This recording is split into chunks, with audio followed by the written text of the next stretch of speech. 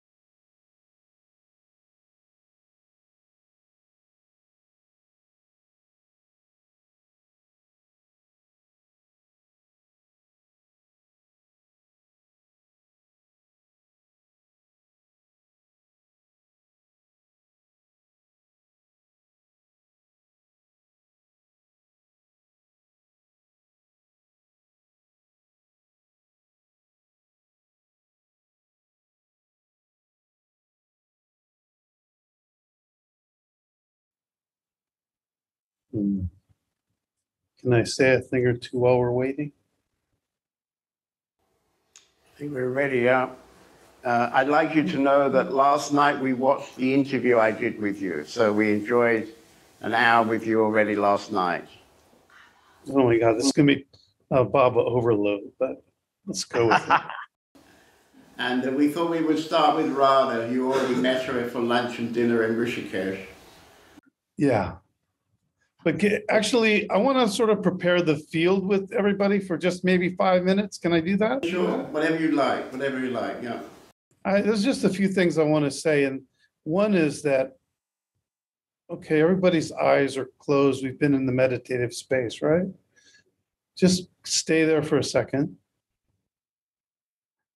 And see if you feel a, the sense of presence in the room you can tell that you're not alone. You're sitting with a lot of other people, your friends. You, can you feel that, that you're not alone?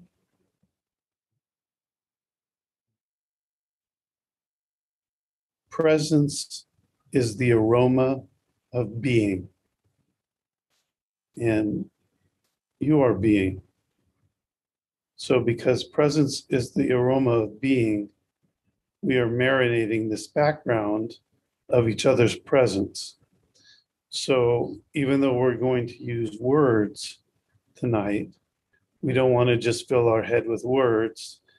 Uh, I want to invite you to stay connected with presence and when we have moments of silence to just sink even that much further into this uh, resonance with each other that is uh, the the background vibration of of meeting together in satsang and in sangha.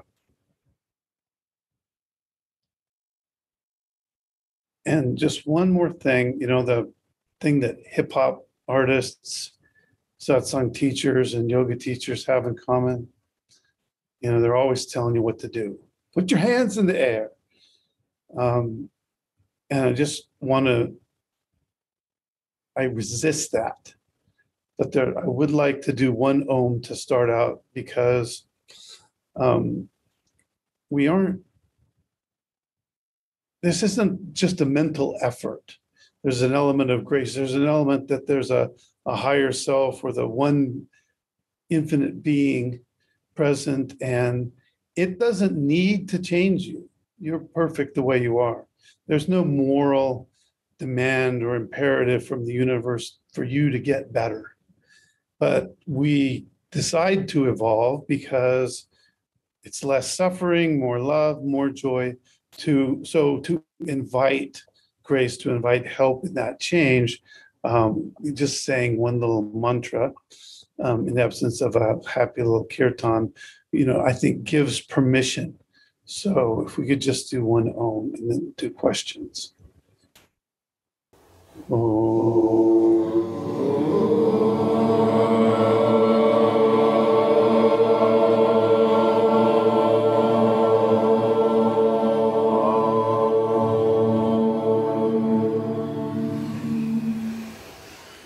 Thank you.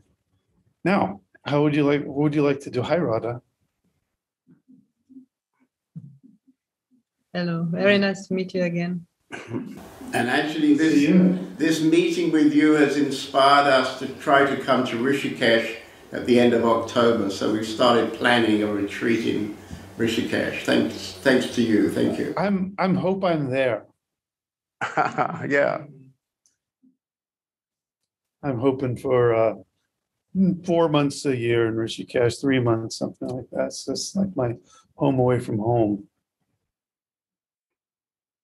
Uh, we look And now that my my home at home is squashed by a tree, that uh, it's become even more homey to me there. So we'll see. You know, I hope we all. I see a lot of you in Rishikesh uh, in the future, and maybe for a lot of the future.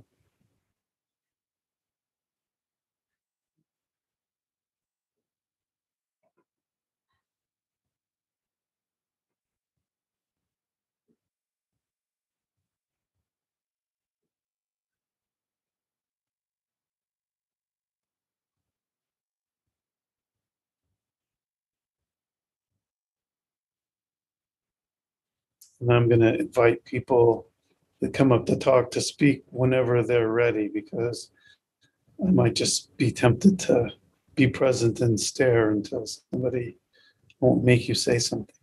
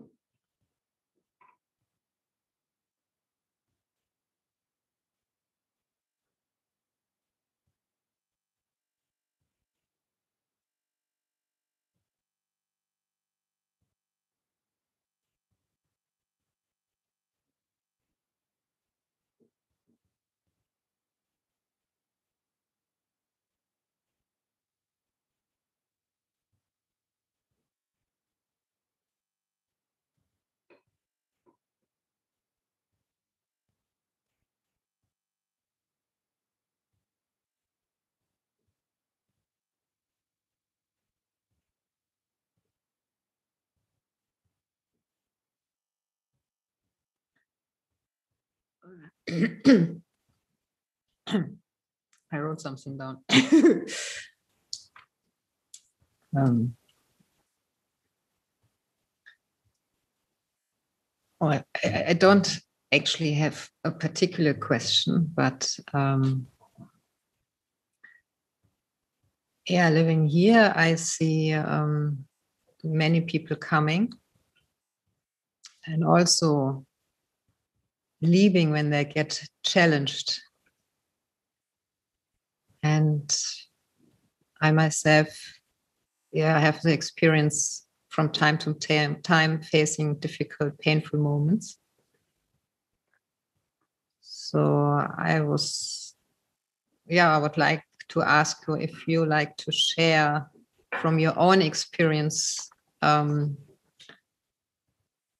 about facing difficult moments and going through them on the spiritual of your own spiritual path and maybe getting the benefit of going through difficulties?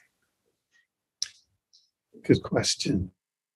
Um, the the hard thing about this spiritual path is it's a shift in identity, right?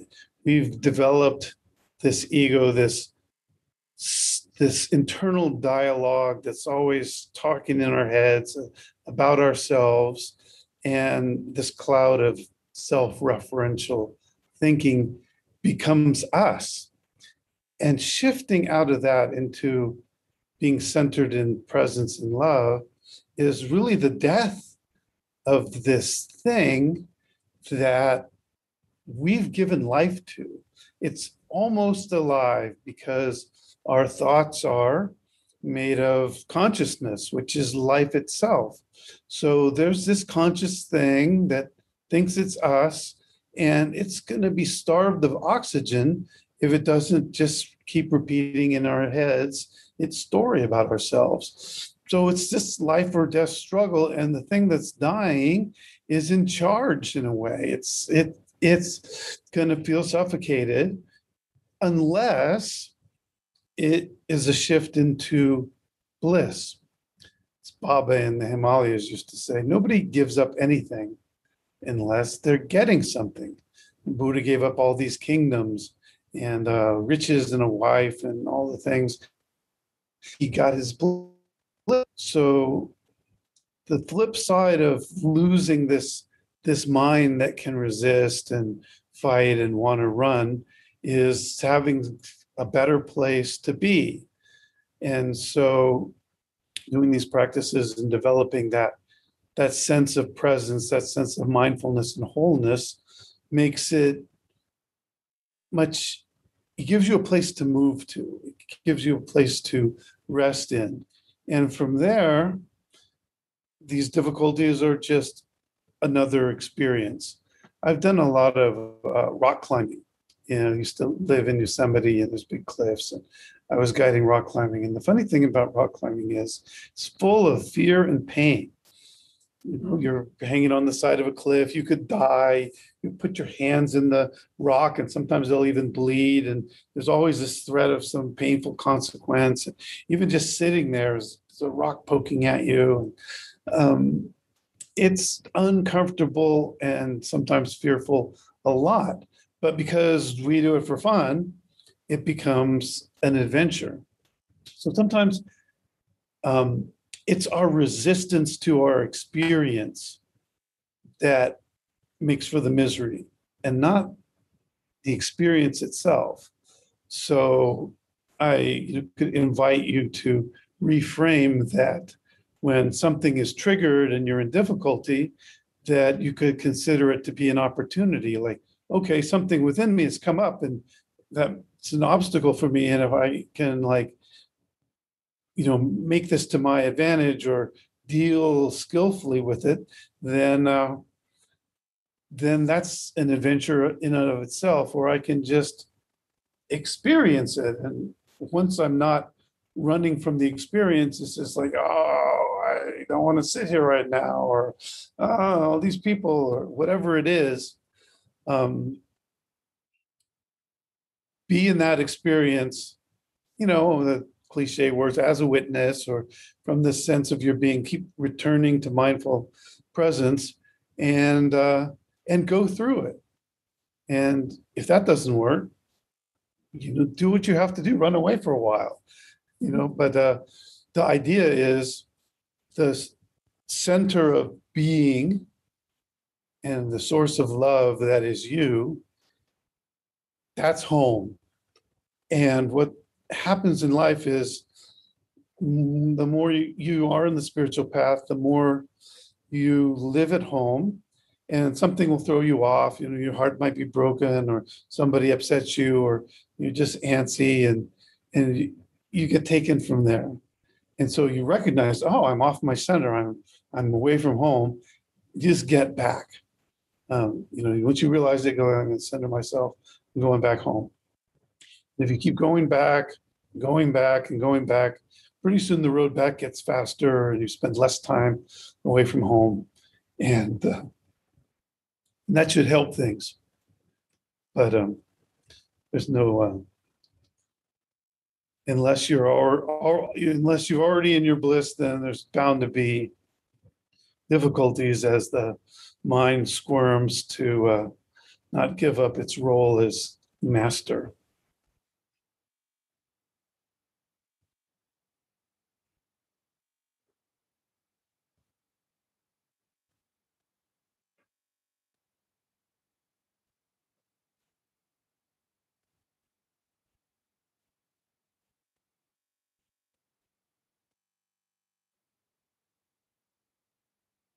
So many uh, distractions and uh, conflicting things in the world out there. I'm really especially impressed when younger people go in the spiritual path because back in the old days of India, there was just like, you know, some impoverished farming and there's no TV and there's no all these different jobs that you could do. You're in your caste. You know, there's all kinds of time. It was a lot easier for people to just go, okay, let's do the spiritual path. But uh, we have a very like short attention span in in the West, and so it's very easy to be antsy and run away. So I extend that respect to everyone there that's chosen to do something that's uh, not necessarily an easy thing, but is the greatest investment in the rest of this life and uh, and our you know experience beyond that even though the one thing we can take with us. You don't have to beat yourself over the head too hard with it because then it creates a reaction. So you know go with the flow a little don't be too hard on yourself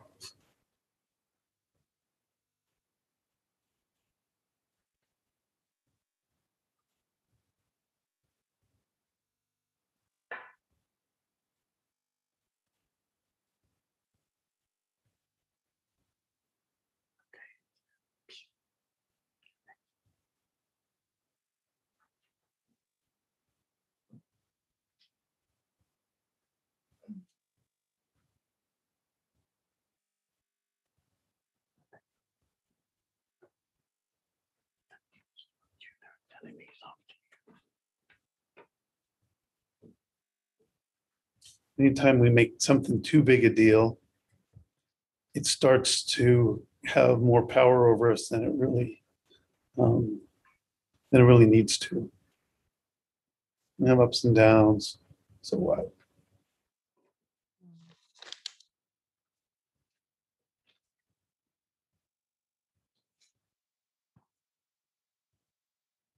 And in a spiritual community, sometimes there's a a subtle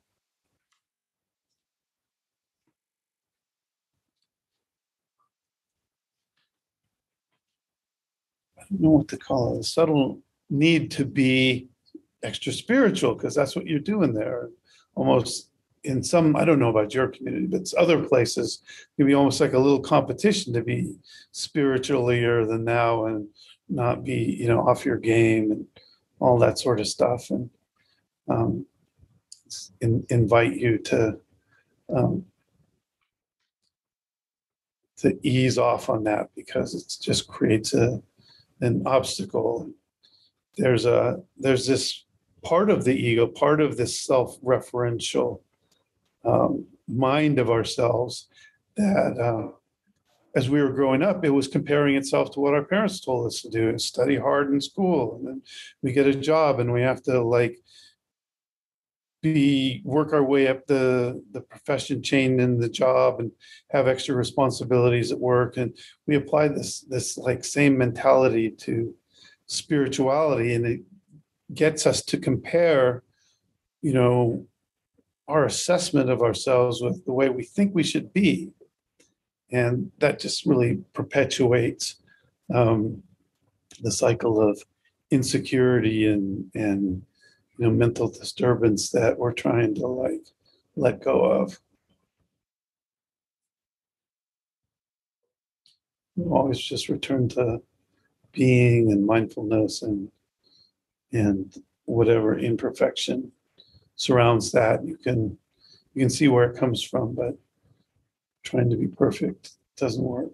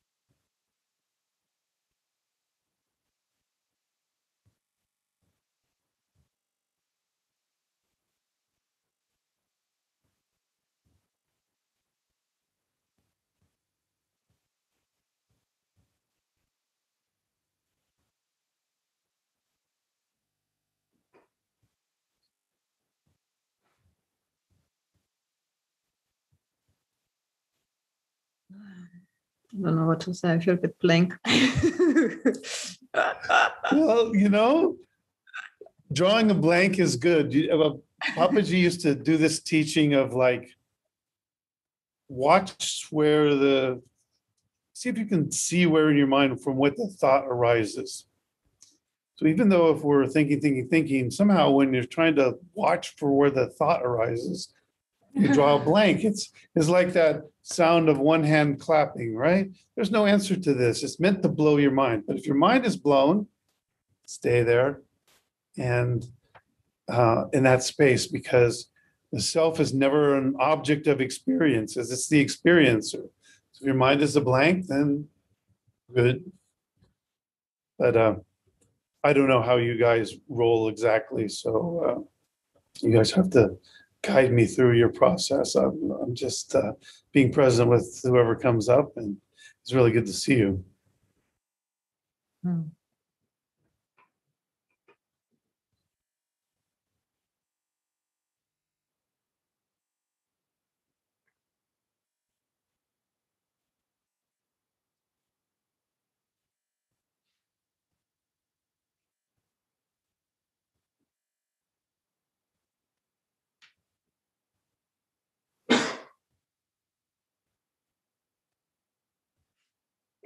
Maybe Give the Okay, next person the chance.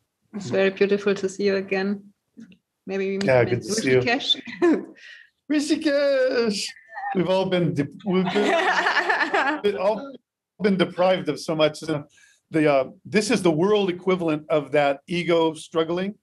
Because uh, with COVID, there's been so many lockdowns, right?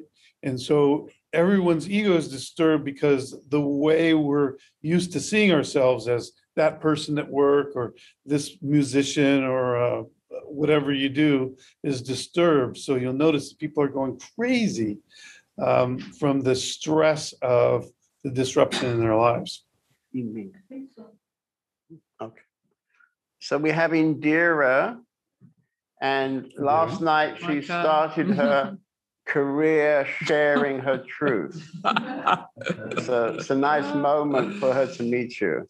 Uh, It's a very auspicious time Indira, like, you know, it's just um, I get so like superstitious about the moon and the cycles of the earth and stuff. And, and tomorrow, actually, yeah, seven hours from now in Bali begins the silent day. Which is the entire island is silent. They, you're not supposed to light any fires or light, light lights and no cooking and everybody's shut down. There's no traffic on the street. So it's considered like the very high holy days right now. So um, I feel also honored to be um, invited to sit with you all tonight. Mm.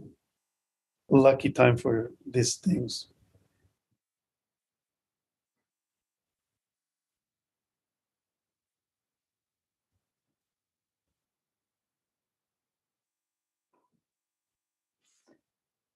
I wanted to ask you if you um, like to share something about your time with Papaji. Because, I mean, from my experience, when you have a spiritual master, you can experience the most beautiful, but also the most horrible moments with him. And I wanted to ask you about your experience with Papaji, if you also had this moments and you like to share something about it. Well, you know, I, I, we all are have this very individual path, right? And uh, uh, we, there's no awakening by the numbers or just kind of doing what you're told and doing all the right practices and and waking up. And, and for me, my day and night awakening was when I was about eight, 19, I guess. And that just rocked me completely. And that I studied with a lot of masters for maybe 10 years before I met Papaji. I was pretty ripe when I met Papaji. And some of the other masters I had been with had hundreds of disciples, and I was always wanting to have somebody, you know, like an individual master, somebody I could relate to one on one. And I met Papaji, and it was just like the answer to that prayer. And yet I would just be in his presence. I really didn't have a question. I he flipped the script on me that I wasn't trying to walk on water or gain some lights and power experience that I needed to like, you know, inhabit my own being. And so I went there and then we would just like stare at each other. And my big main stress with Papaji was just that I, my mind would get so quiet and just be sitting with him.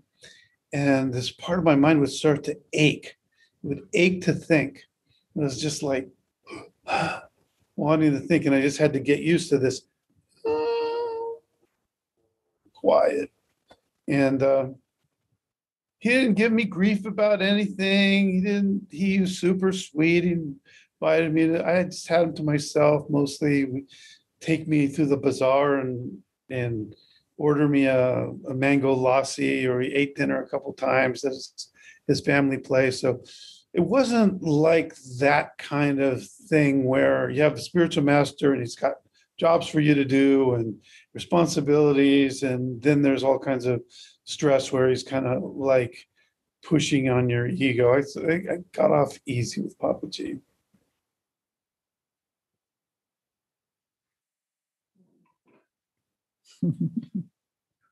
And and back those days, he was resistant to keeping any this. He loved it if you loved him, but he wasn't trying to build an ashram or an institution or whatever. So he'd like, Mm. you know, you got your thing with Papaji, send you off.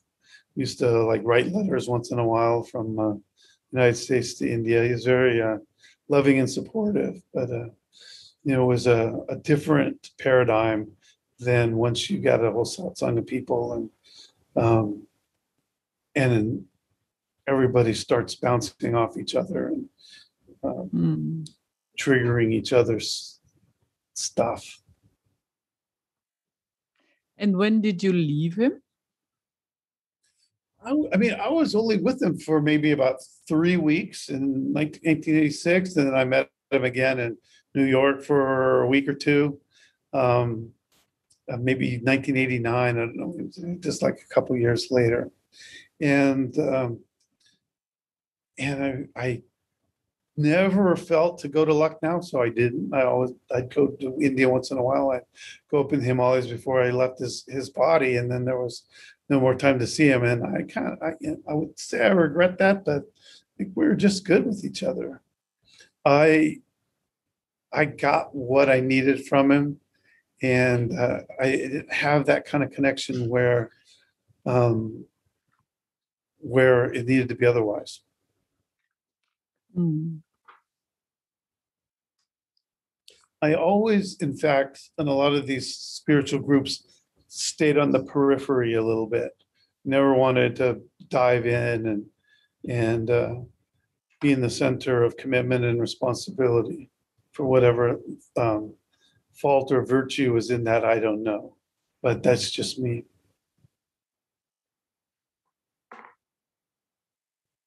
Mm.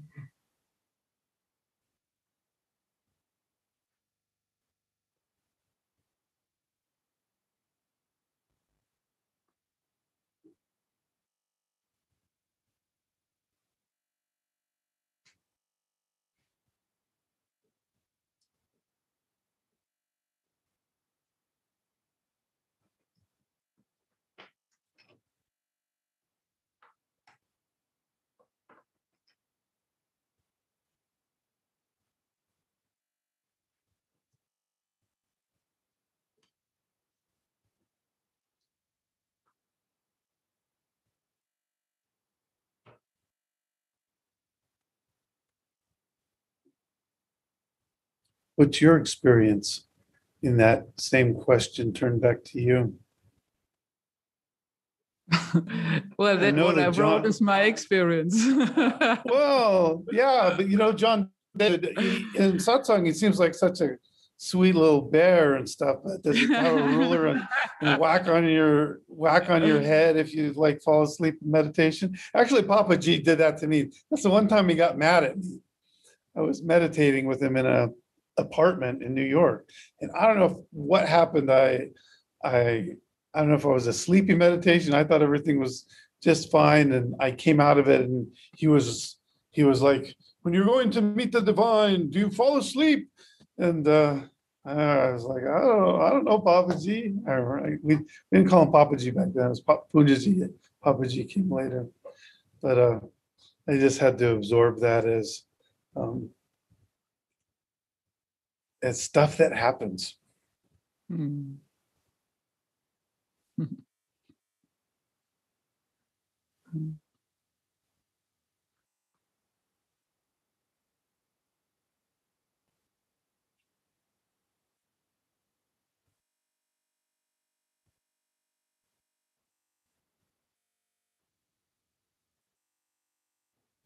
Okay, I make space for somebody else. Very nice to meet you. Very nice. Nice to meet you too. I'm um, sorry I'm not full of words. I've always been like not somebody to talk for the sake of uh, talking, but if there's something to talk about, I'm happy happy to be in the space with you and wishing you the best on uh, you know everything you should choose to do in this uh, razor's edge of sharing your experience and um, letting that truth flow through you and love.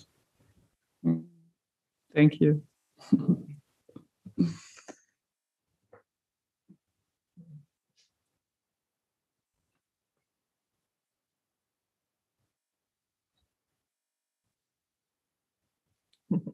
Hi.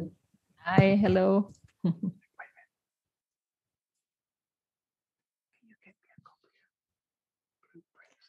you got shiny eyes. you know, I don't see how I have shiny eyes. I got the squintiest eyes, you know, and and some of the things I think are beautiful in other people are things that I don't have, like like really dark eyebrows like you have. I got no eyebrows. They go, oh, beautiful eyebrows. And the big soulful eyes, you know, oh my God, those are like I think I meant I something. I got squinty little eyes with bags under them. Oh my God. But somehow I, we I can still connect. So I think the shine is definitely some supernatural space because Yeah.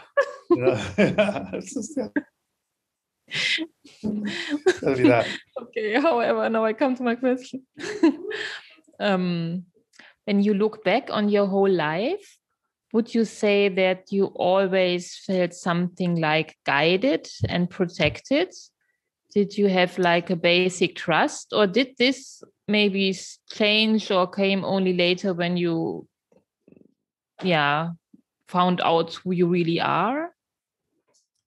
You know, they say the spiritual path, there's two spiritual paths. One's the rainy path where you're suffering and you're looking for the way out of suffering and spirituality, meditation, all those promise you a way of curing all this misery that you're in. And then there's the sunny path where it's like you get a, a, a hint of the light and you want more of it and you seek after this bliss. And I've definitely been more on the sunny path. I, I've never really been miserable.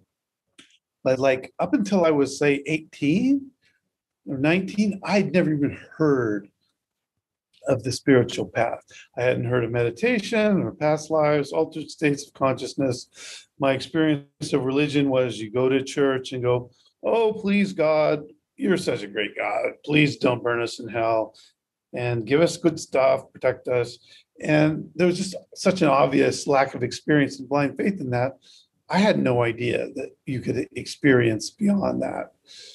But when I awoke to myself, which is very sudden and and kind of extreme, I could recognize moments from my childhood when I was like in that space where I was just being. And in fact, when I was a kid and I got introduced to nature, and one of my first spiritual experiences was coming into Yosemite and seeing the beautiful nature and cliffs and waterfall. And I was just stunned.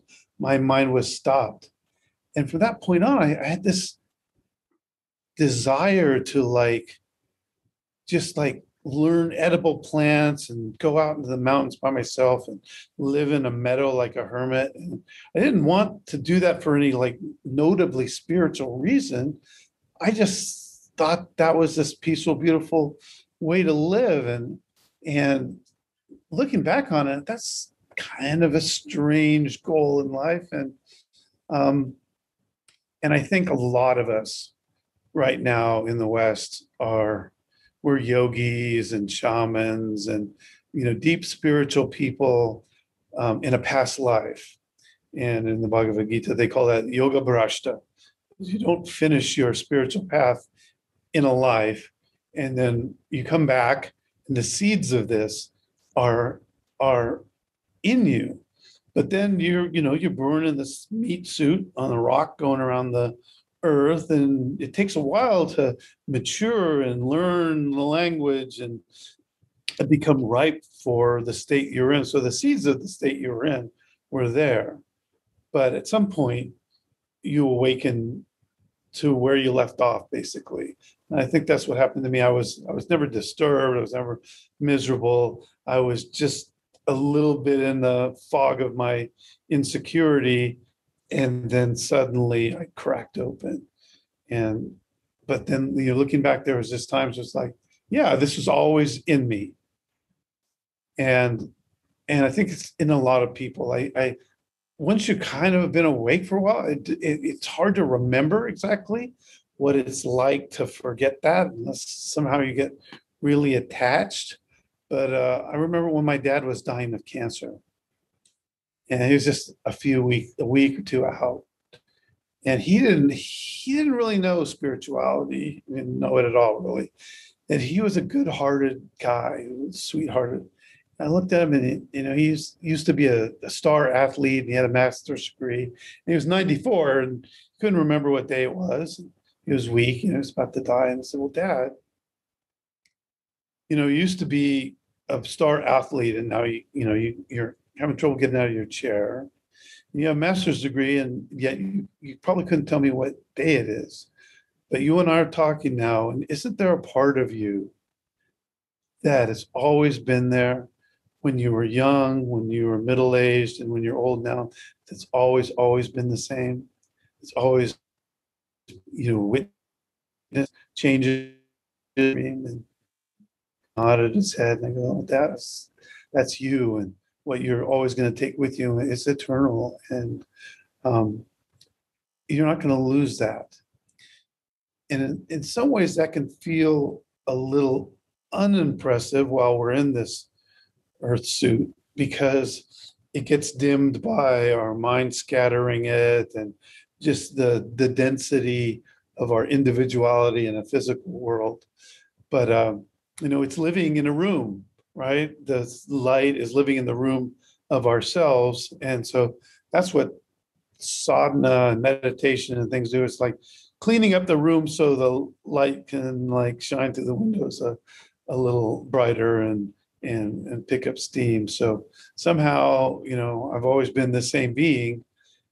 And somehow i woke up to it in a more profound way. And now i don't know if it's even completely honest to like rely on memory to to see how i was before because it starts to be inconceivable. Maybe i know. Maybe i don't mm-hmm.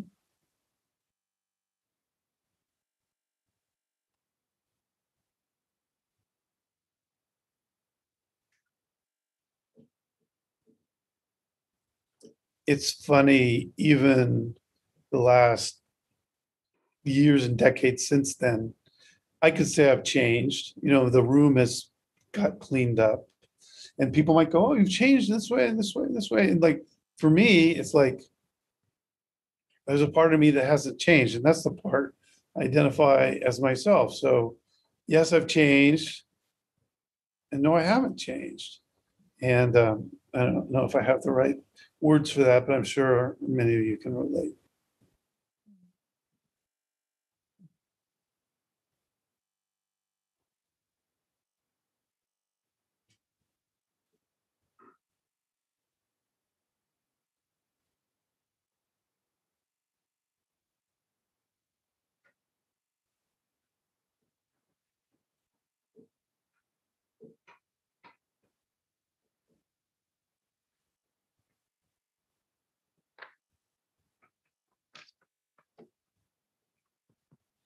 And then, you know, the, the Papaji change was instead of seeking to be a spiritual Superman, I was turned around to sink into the being in presence that I already was. And so that was a a complete change and yet there I was again the way I always was. So um, and we're we have a lot of different layers and dimensions to us.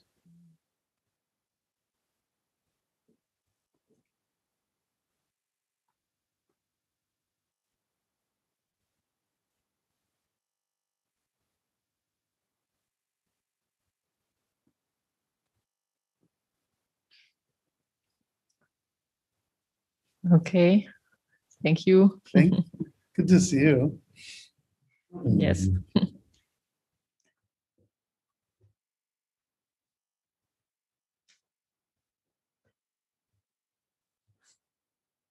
Hello. This is Karol Arjuna. He's a Ukrainian. Arjuna. Yeah, he's a Ukrainian guy. Mhm. Ah. I don't know what does it mean, Ukrainian guy. Maybe You know, there's a revolution in Eastern Europe. I'm here in Bali and in India, and the yoga and meditation is filled with people from Ukraine, different parts of the former Soviet Union. So it seems like something very, a lot of very beautiful people are, are are honor that. Yeah, so there is a question. But it's just the decorations of the room we're living in, right?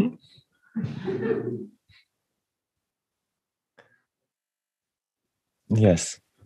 Mm. There is a resistance sometimes, which is very strong structure. Yeah. And the structure in this system, in my system, and sometimes it feels very heavy. And um, i could say sometimes it's like a feeling this resistance on the way to something beautiful. And uh, i would like to ask you to talk a bit about this.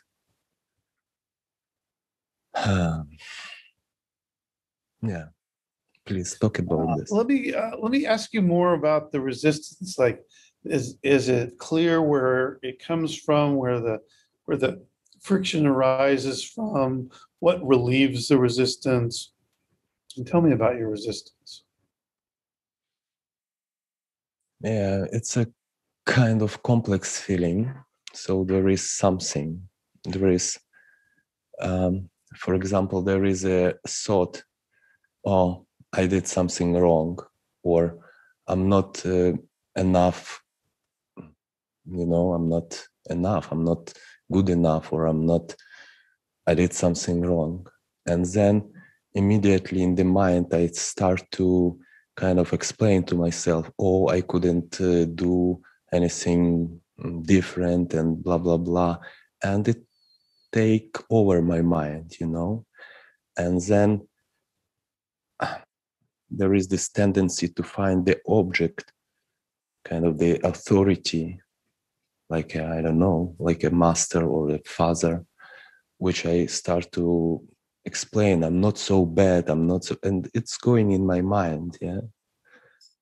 And um, I don't know. It's just an energy in the system. It co- contracts, contracts. No, I mean, what you're describing is fortunately, it's not that complicated really, because this voice in our heads that compares us with how we should be and has judgments about our progress and where we are, could do better, or what we should be doing, or how other people see us.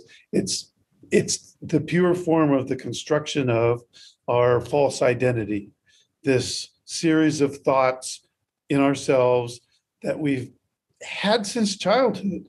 When you think of a child being born in the world, it's just an amorphous lights and and our parents teach us that we got to do this, we got to do this, and this voice in our head starts trying to meet all the expectations of the world. And when you're in school, you want to be popular or you want to be smart. You- You're always seeking validation from your parents, from the teachers. And this just becomes an intense habit. We're living in our heads and we're playing this game of being enough. There's no winning this game. Like if you were the richest guy in the world or the most beautiful woman in the world or the smartest person in your field, they all have another insecurity about what they're not. There's just you people are always moving the goalposts up. Probably a million people in the world that would love to be you because that's where their goalposts are. Once they're you, they're going to move their goalposts again. So know that there's no winning this game, right? The the game is won by letting go of it and and uh, moving into the space of being that you are within. And you can, you know, if you want to play a game with it, you can even uh, go against it, make a fool of yourself. I just made a fool of myself in front of 30 people. Woo! Now I can stop worrying about like if I'm a fool or not because I proved it. um, there's no winning this game. And there's no cure. I mean, you can make it a little better, right? If you try harder or, you know, you're a good meditator, then you can, you know, think you've got made some progress. But it's it's like all the goalposts in life. Once you're there, you just raise the bar. So um, as long as you're experiencing that, you know that it's just like a sickness, right? We have the sickness of that we're addicted to our comparison and judgment of ourselves. And you know, you see yourself doing it and going like, ah, look, I'm doing this. And uh, that takes a little of the uh, the bite out of it to know that you know it's just this illusion we're suffering that uh, we've got to compare ourselves um, with our idealized self and uh, and not worry about it too much. Sort of like being drunk. or stoned or something, you go like, the, I sometimes think the world's like this big drunk party where everybody thinks they can drive. I can drive. I'm perfectly okay to drive. It's like, no, you can't drive. It's sort of like ego is bothering you. It's sort of like, I see my ego going right now. And I'm so it's just like being a little ego drunk for a minute, not going to worry about it, not going to make a big decision and yell at anybody until I'm, you know, back at my center. You know, it happens. It's just part of the game that we have to like not make too important while we're, you know, getting beyond it. Yeah, sounds good. Yeah, I mean, uh, It's, you know, habits, you know, you can get the answer and it doesn't necessarily change it right away, right? Um, we, this is, we're breaking the oldest habit that we have. You know, the way we've constructed our way of thinking and being within ourselves, it's a deep habit. And, uh, and maybe it takes grace to break it, and maybe some practice will, you know, make it better. And so, you know, do what you do and do your, do your, uh, do your spiritual practice. But, uh, yeah, recognize it. That it's just the, you know, common illusion of humanity that we're all, um, we're all facing this. I have a refrigerator home that says the only normal person, the one you don't know very well. And uh, so everybody has the same insecurity and resistance. and you also had this, yeah. I'm sure. And I mean, I'm sure that, you know, that, that, that the reverberations of this, you know, are, are in me. I'm not like suffering from it. But I, I guess if I had to, you know, I'd be like a guy and I don't even want to like go ask directions on the street. Um, so I don't want to say I'm free, but I also not, you know, I'm not suffering. And I may almost maybe too content with my imperfection. I Don't work on it very much. I'm almost too content with my Oh, And there's people that are really good about being disciplined about doing all kinds of sadhana and cleaning up the whole house and um and you know I honor that. We're all have to like go with you start from where you're at and and do what you're able to do. And uh I'm not one of these guys that's gonna master all the yogas and and I- in fact, I used to know all kinds of scriptures. I've had years of university Hindi and Sanskrit, and I, I knew so many things, so many techniques, and I've lost that. I've, I've like now there's hardly anything I can say. So um, I can only answer a few questions.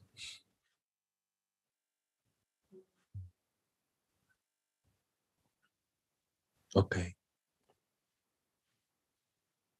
Okay. Thank you, Carl. If you have more questions, I'm happy to answer them and really wonderful to meet you. Um, If, it- if you feel resistance, you feel resistance, don't worry about it.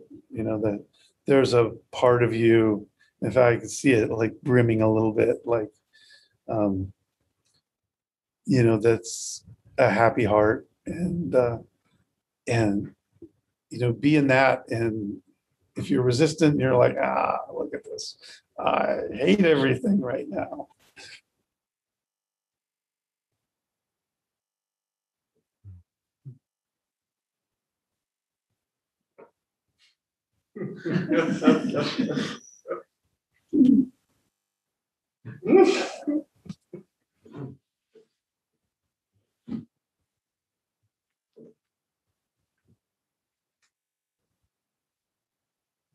So we have Rajen now. I won't tell you that he's Norwegian.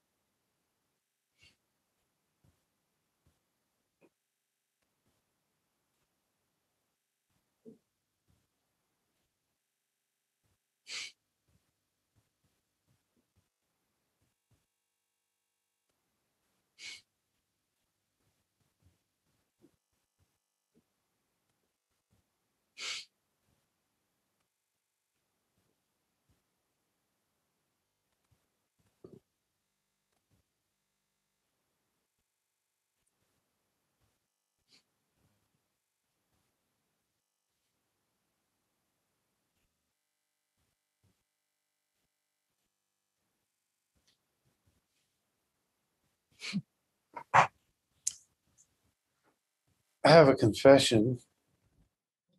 I know you're Norwegian. John told me, and I know he shouldn't have, but he did.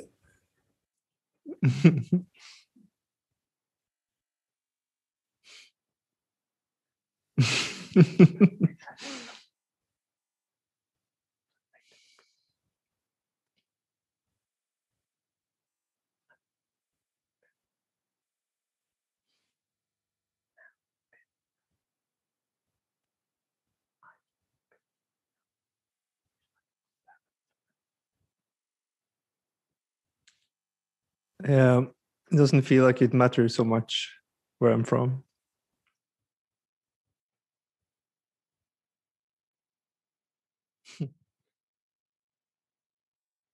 It depends on the question. Sometimes our cultures are part of our obstacles, Hmm. and sometimes they're not.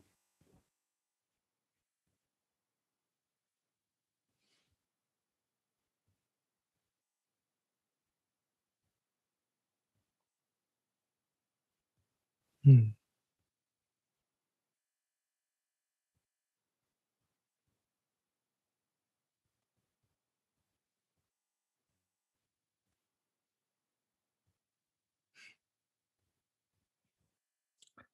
You seem uh, very friendly. It's like uh, meeting an old friend. Thank you.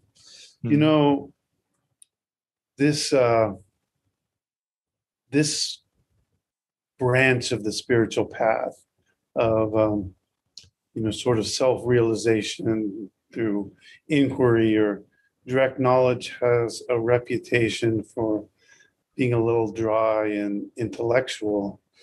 But uh, they say that all paths lead to the same place and this place is by its own nature the source of love. And so I don't really trust anybody that doesn't have love as being any place spiritual that I want to aspire to. So um, I'm not all the way grown up yet. I, I sort of missed having a midlife crisis by not even growing up that much, and I'm, now I'm too old to have one.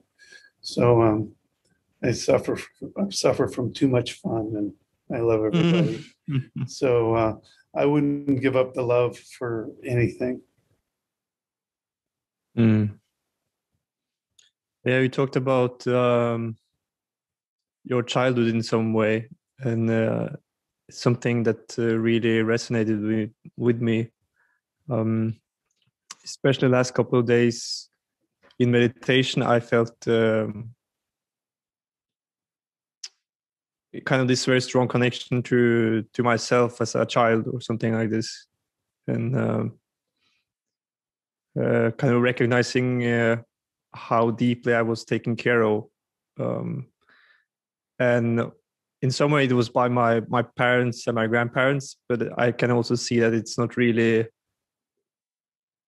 personal. Like I was taken care of by the universe, and it's Uh, yeah, yeah, it's so beautiful. It's really good to. Uh, you know, there's there's this transcendent being that that we are, Mm, right? And we're trying to, you know, be centered in this pure awareness.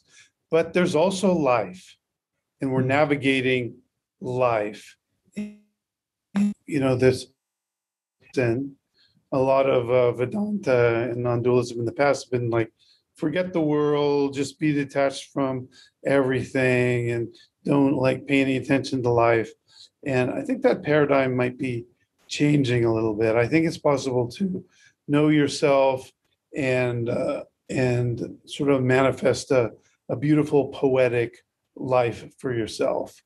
Um, I think that we're dan that life is like dancing in you know as we think and act keeps getting reflected back to us and we can almost uh, I won't say perfect our experience, but we can mold our experience forward this way. So having the idea that we're protected and that there's a perfection to everything um, is a it's it is a beautiful idea and a beautiful shield, and it, it allows us to you know accept what happens without being a victim of it, um, and gratitude um, that there's somebody that you know wiped our butts when we were a, a kid and had to sacrifice a lot of you know fun activities to take care of a, a baby you know a, a lot of us didn't have a great childhood but um, there's something to having that um, you know gratitude toward everyone who has touched us along the way and and to our friends and spiritual masters and and everybody along the path. The, the more um, love and gratitude and feeling of protection that we have within us, the more it just sort of uh, feeds back to us, and it's it's a lighthearted thing, and uh, and this love and light heart is uh, an embodiment of ourselves. Um, a lot of times in this um, self-realization we're we're trying we're trying to be this thing that we can't see the source of ourselves. And because we can't see it it's really kind of hard to to grok this beingness behind the curtain that we are. Um, and sometimes it's almost easier to see where love arises from where joy arises from. It's also that love is the aroma of being and up some levels where it gets to be jealous or attached or about this or this, then it's it gets mixed up with the mind and lust or all the different things that we have going on. But like the source of love and joy in our hearts, which can you know be triggered by gratitude, it's um, it's close to the source. Once you get close to the source, you just sort of be there and it'll draw you in on its own.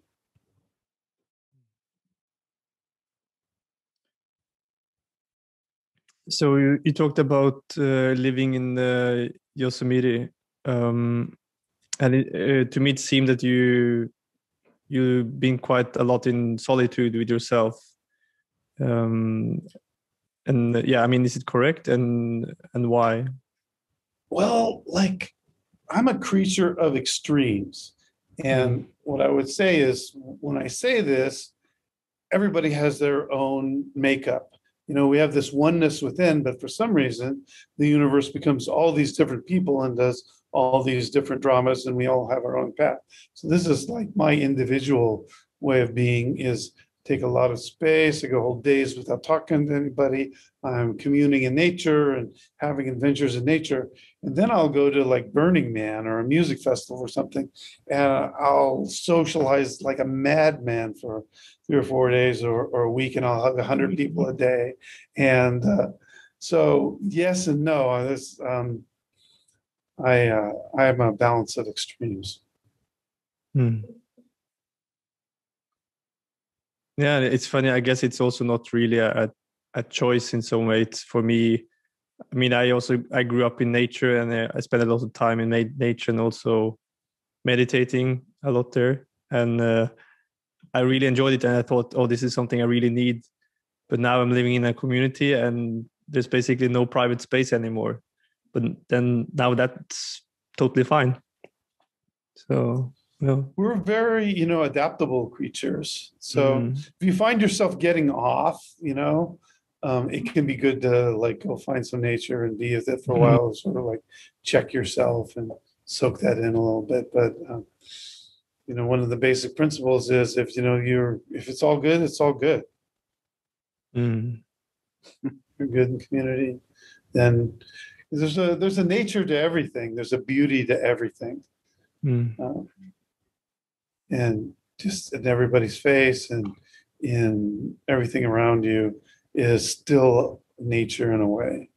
But uh, I do like to, you know, attract to the beauty in nature. So make a point of, you know, making sure I get a dose once in a while. Mm.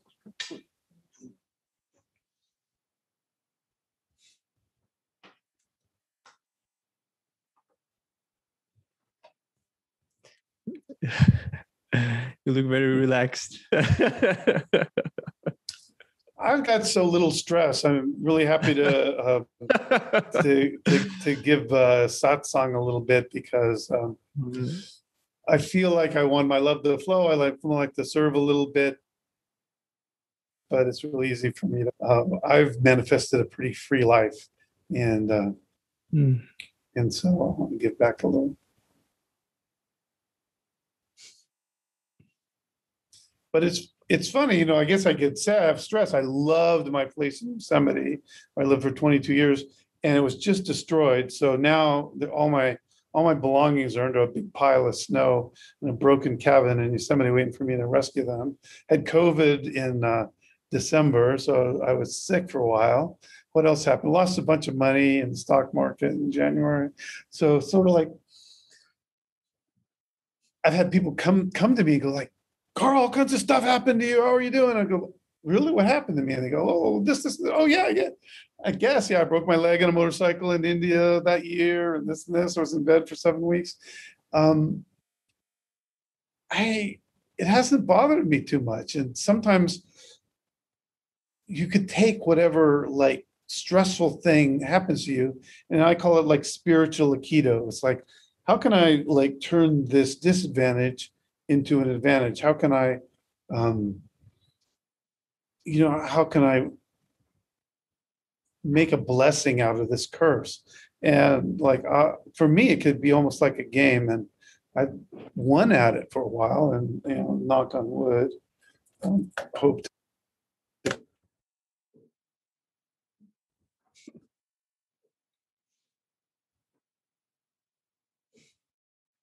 Okay, thank you very much. But I also avoid, you know, like hard stuff that might be a you know an oppressive task for me. So I uh, I honor the people that make a commitment to be in community and not have any private space and all the stuff that I don't have the guts to do. You guys are rocking They're allowed out once a month. You put it like a, a collar on them or some kind of ankle bracelet to, to know where they've been or let them out for a month. okay, thanks, Karl. Good to meet you.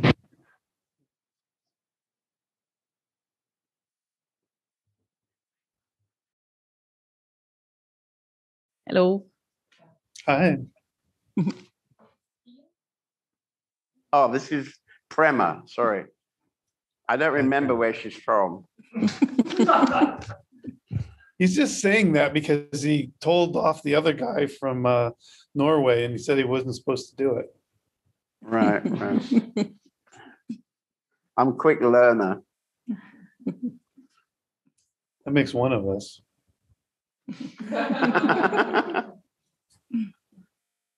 Mm.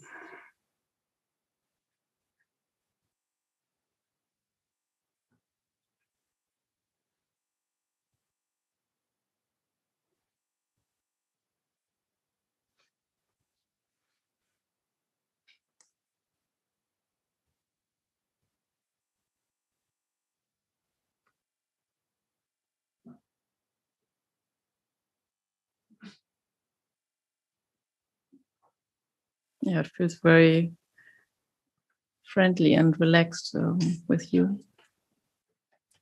California, that's why. We're chill there. I'm in Bali too. Very sweet and chill. Mm.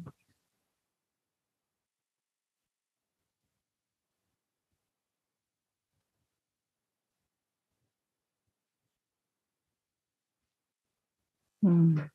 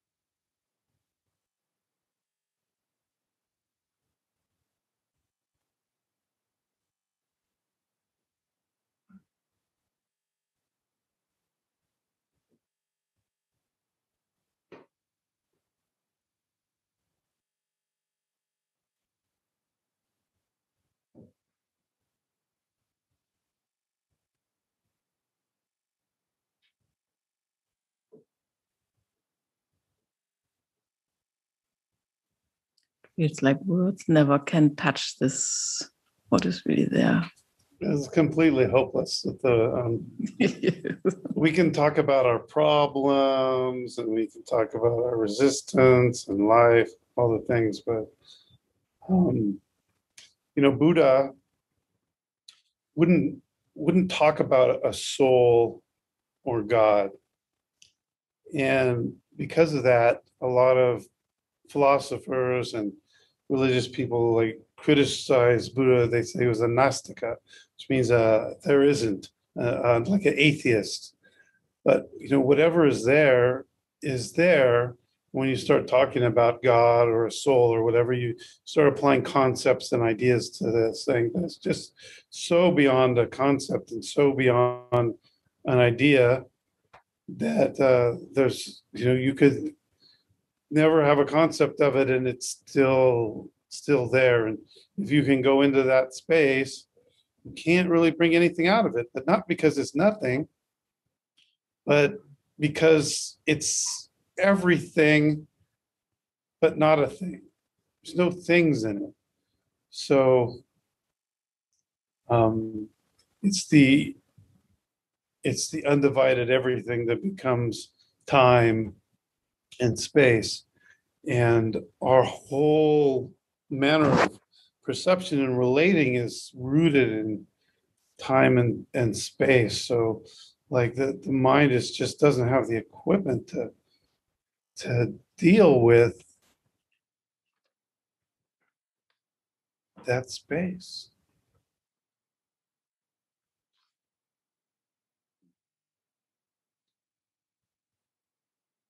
you can only just kind of hang your mouth open and go like, "Whoa."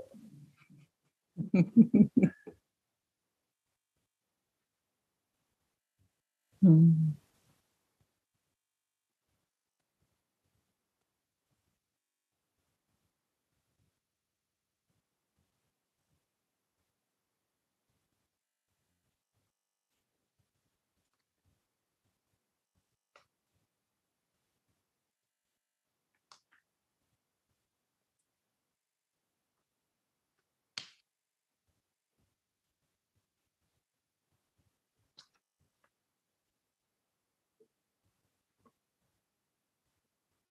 Hmm. Hmm.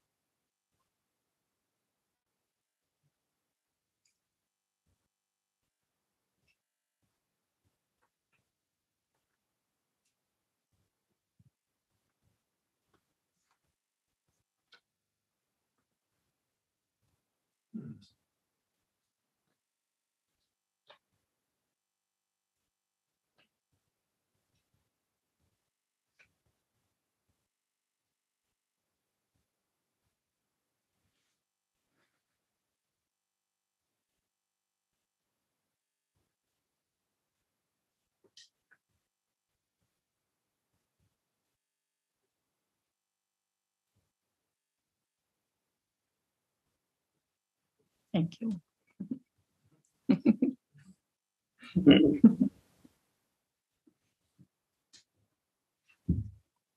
So, Karl, I just to tell you, we've still got a bunch of people who'd like to meet you if you've still got time.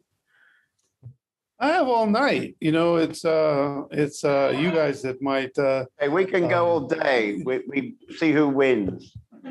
yeah, so, you know, like you, you have to manage the entertainment value of the, the satsang if we like stare at each other too long or, you know, what, what, whatever, whatever it is we're doing, I'm along for this ride and, uh, and, uh, I stay up late, so.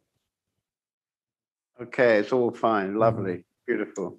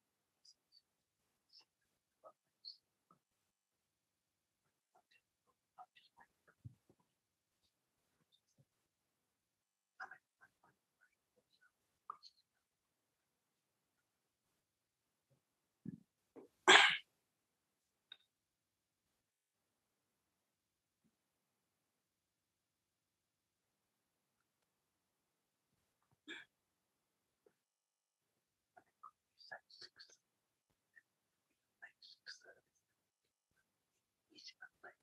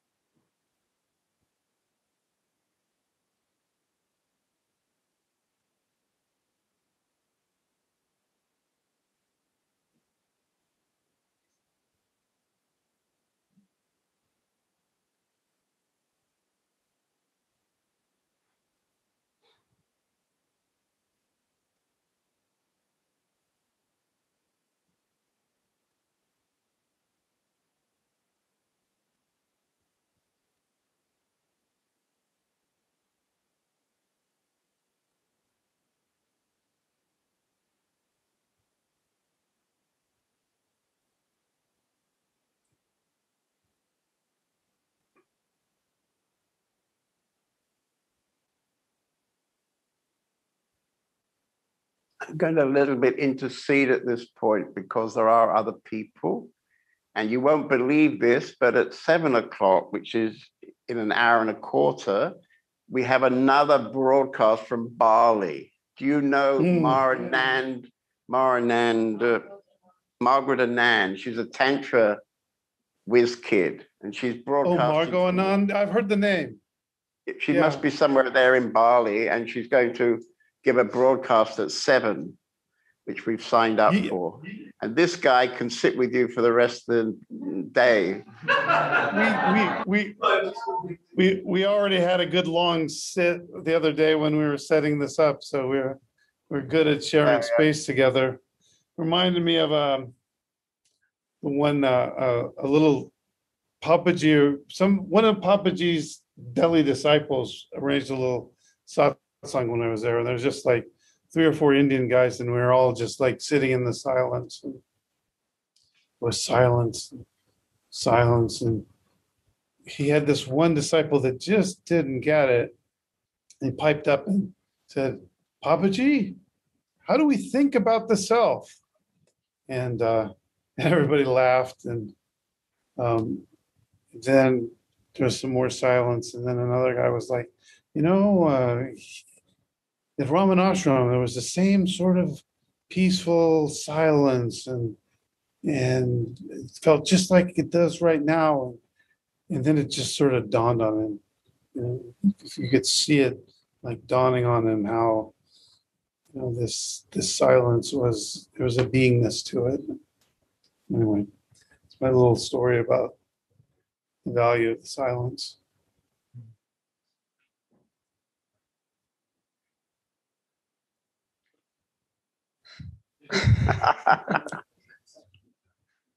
I can see it. in my- I'd tickle you if I was there. Somebody tickle him. Like it's, I think you're already tickling everybody, actually. This is Raj. Raj. Meet you. Hello, Baba. Hi.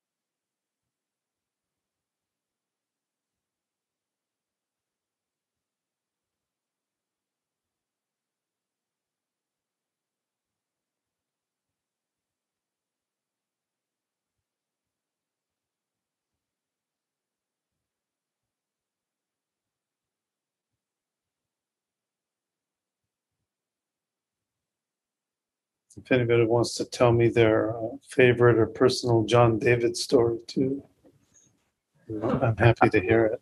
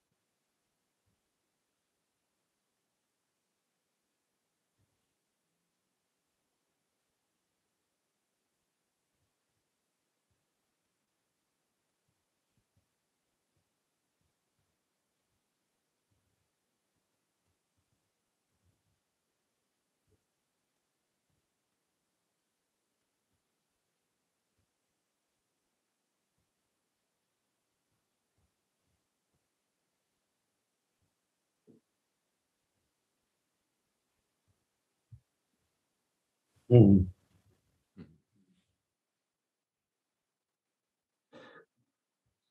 It was a bit funny. It was like, um, should I stay here? Or should I go to the written question? Yeah. You have a question?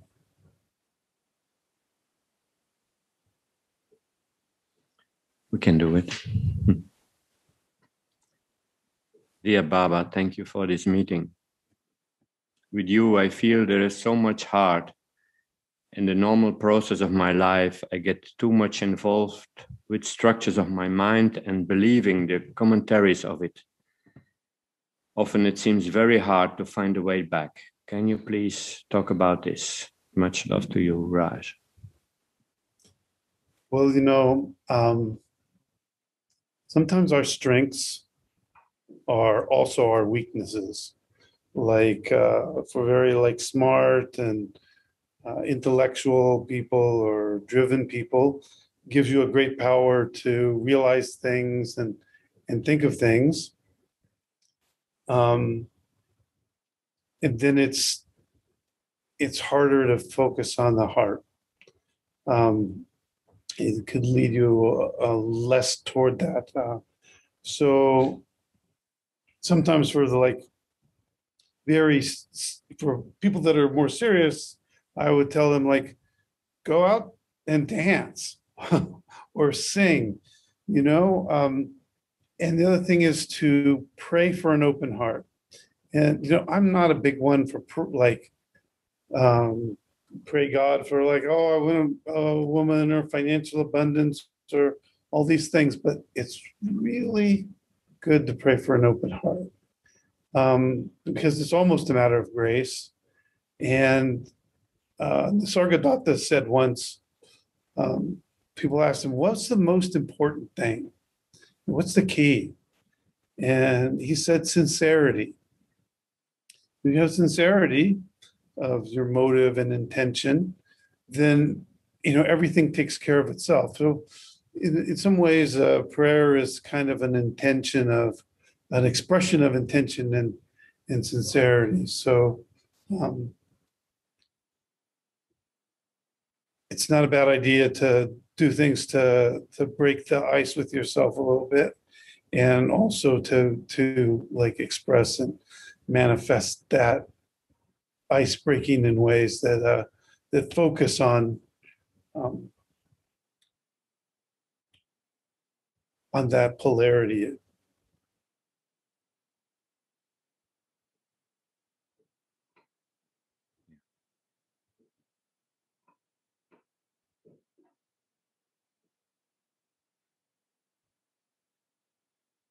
You guys all uh, should have a little like community dance session once in a while. Shake out the energy a little bit.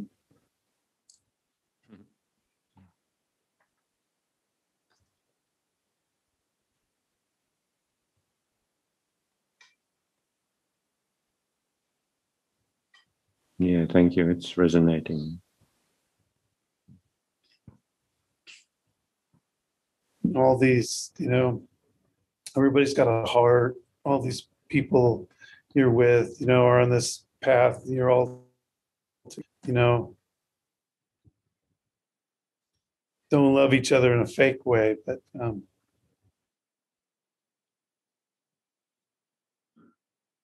but there's there's love all around you. Sometimes people are going through their stuff, and it uh, bring draws people inward a little bit, you know. But uh, you've got an innate joy. It's part of part of the experience.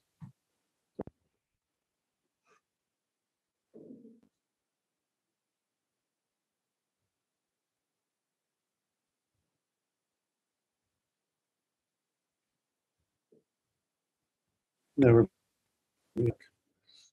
Thank you very much. Very beautiful.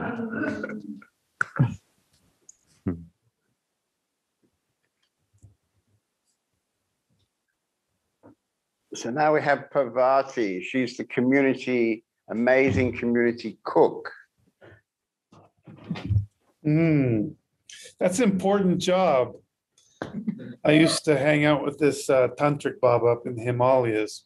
He used to feed us till we couldn't eat anymore, and we're like, "Stop, stop!" And he said, "This is my love. You know, this is um, I. This is the way I get my love into you is is through the food." And Papaji is very careful who cooked for him, and a lot of masters I've been around were like, they're picky. They don't like to go out to eat. Um, so you're you're the conduit for good vibes for for everyone that eats your food. So nice to you.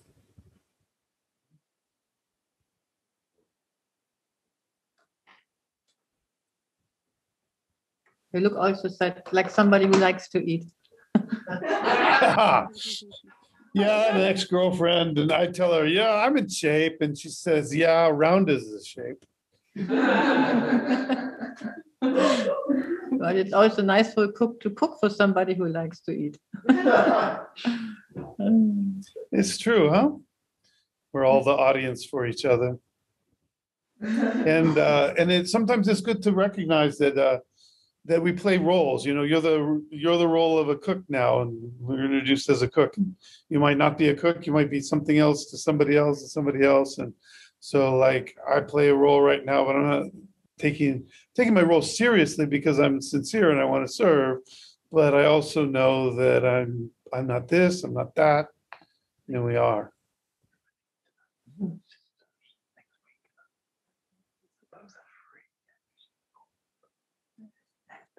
I just had, uh, when I was waiting here for the chair, I had a revolutionary thought came.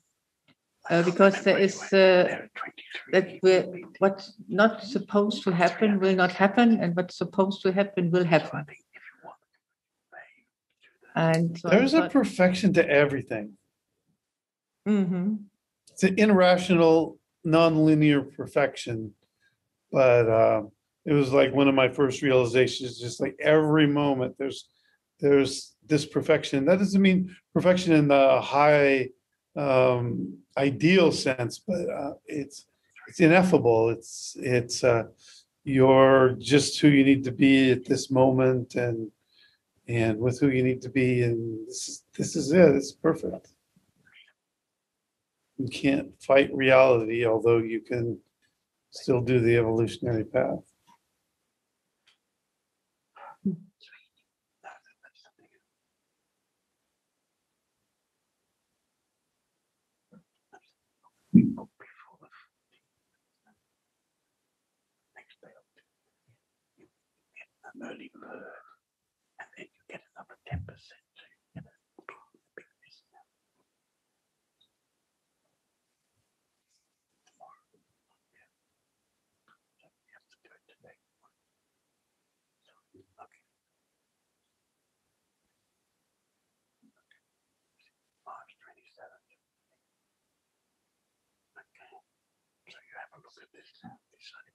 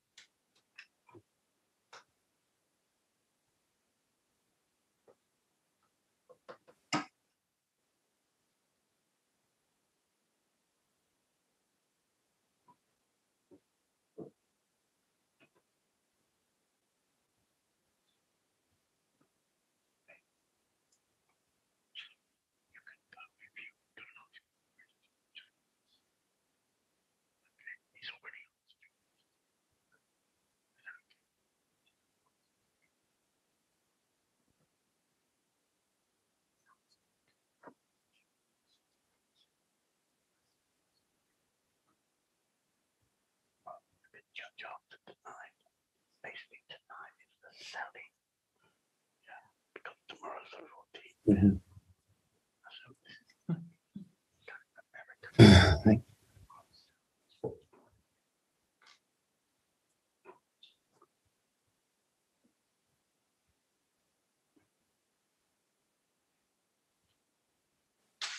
This is Saraswati, who just joined our community today. Her,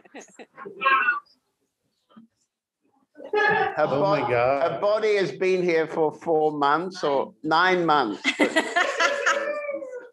Do they have sort of some gang ritual where they like beat you into the gang or like you have to like be hazed or they they like do some kind of ritual punishment or anything or do they just like Yes, let you it in? is. Yes, yes, it is. I want to hear all the dark secrets. See, now, now that you're in, you'll know, you know, they, they, they keep it secret from you the first four months, but once you're in. This this one was punished by having to play the cello. She played the cello in the band. Can you hear me? Can you hear me? Yeah, I can hear you. Ah, okay.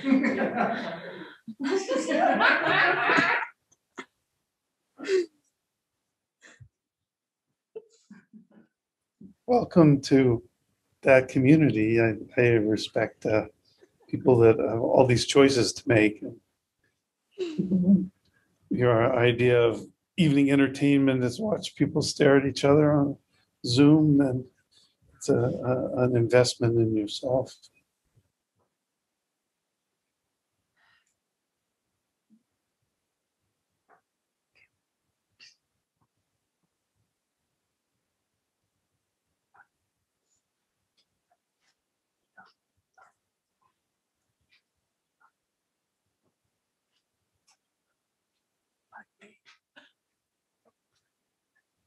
Uh, so I have a question. Um, before I moved in, I had not so much um, experience with um, meditation. Um, yeah, somehow my question is re- yeah related to this. Um, it's about how I can become really content with myself and not to want or to need something from the outside. Hmm. Uh, I think it's all about um, shifting your the center of your identity to beingness and and into your your your source, your heart. The mind is always going to be restless, and so we're breaking this habit of being in our mind, and and so you know it's not an easy process because it's been a long habit. So on the way, you know, be lighthearted about it. Don't be hard on yourself. Get off your own back and um, and do what you have to do. But just keep returning to presence and uh, you know just claim some some some happiness and joy in, in your existence because you know it is within you. So um, we just we just become our own worst enemy. You know you can you can almost choose to like be a kid and and and still you're being mindful and still you're um, you know doing what you have to do in in community and for, for everybody. But um, um, enjoy the path and don't be hard on yourself. And and know that you know you have to wait a little bit for things to take effect. Sometimes we have this problem of that we think it's going to take forever to realize ourselves or it's going to that and that's an obstacle too right? It just it is what it is you know and inhabit the state you're in and keep you know and in uh, keep edging toward mindfulness and, and home but uh yeah you want to talk a little more about your question where i'm where i'm missing you or or what what you want to address? I mean, your answer is really beautiful. Um, so, and it also had changed. I mean, it's it's not like it was in the beginning when I moved in. Um, it's really a process, so it's it's much more better now. Not so much thinking about what I want or what I think I need. So it is really uh, relaxing somehow. And a, a message to you know everyone is the spiritual path is oftentimes like two steps forward and one step back. So if you make some some progress and realization or you you you clear something, you get your mind quieter, then that creates a space for karma or thoughts or issues to bubble up from within that might have been held down by all the stuff on top of it before. So a lot of times we we can we think, oh, we've fallen from grace, or or oh, we were doing good and now we're not, and it's just recognize that uh, we're going to have ups and downs, and it's two steps forward, one step back, and then there's going to be two more steps forward. So, you know, go with that that flow and recognize that sometimes if you know if things come up it it's doesn't mean it's a sign of falling back. It could be just part of the progress that uh, that the the process goes. Mm, yes. Yeah. yeah, maybe also to look again on something when it's coming up again. It's not finished. Yeah, you know, um, repeating patterns are uh, usually a message for us you know, like I said, uh, life is like this hall of mirrors. And when something comes up again and again and again, um, it's really something to look at. We, we uh, Mhm. some people just want to be detached and ignore it, but if it's coming up again and again, it's probably within us that we're creating this repeating pattern. And if you don't want it to come up again and again, then you know, sit with that and and see where it's where it's coming from. Yeah, yeah. Uh, to explore it and um, and then it can maybe be dissolved at some day. Yeah, you know, and awareness itself is a medicine where you can explore it, you can feel into the root of it, you can just sit with it and be present with it. The, the one thing that doesn't help is ruminating about it. Like if you take your story and you spin your story all around of, you know, he said this and then he did that, or she da da da. You you take the story and and become a victim and and and and like chew on the pain of things because a lot of times we chew on our own pain uh, that that there's a part of us that like in enjoys um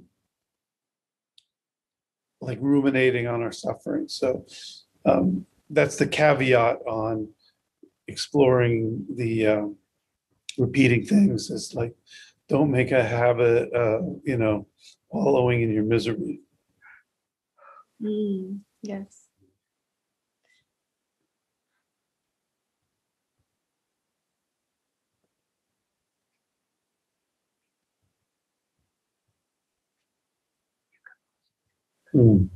Thank you. Nice to meet Thank you. you. Um, it's nice to meet you too. I'm honored to be uh, welcomed into your world too.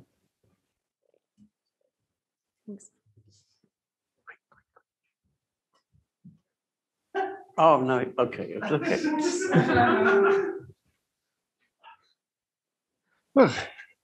Wow.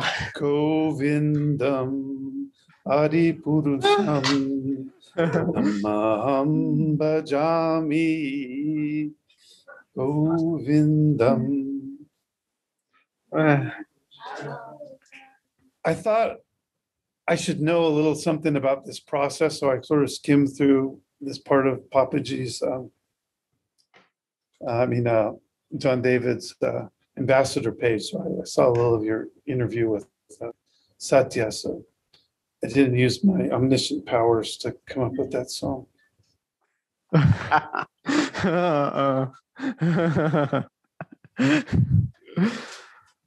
um, yeah, actually, I've I have a very personal question because what's going on uh, now at the moment, um, what comes up a lot of the time is um, that I feel very wounded emotionally because, um, particular because I've been very much sexually rejected by women all my life, and um, I feel a lot at, about this wounding, and I feel also kind of yeah i just feel a lot of being rejected being wounded and um, in two weeks i will go to a place which is called Osho Humaniversity to look at this more closer but if you can uh, share something about this topic i'd be very happy Tell me, um, tell me a little bit about like your childhood. Like, what was it like? Relationship with parents and early early life and stuff. um, I had um, like very very nice regular parents. Like um, we were kind of happy family, and maybe it's a small happy family because we were, in, were living in a very strong structure, society structure, and um, for ex- one thing which I remember is when I the, the my parents kept hiding their sexuality from me. And when I was asking, there was always shame coming up, and I kind of um, just copied that. So it was kind of Mhm. um, I just took it, yeah. And um, there was also something um, of, let's say, some very strong I know structure, which was like very high arrogance and very low, um, you would say, very insecure below this high arrogance. yeah. And this made me also a very easy victim of bullying and um, yeah, this def- like um, I kind of had my structure, and when somebody would attack or break it, I would immediately fall apart. Like there would be no ground psychologically, and um, yeah, this I had had strongly.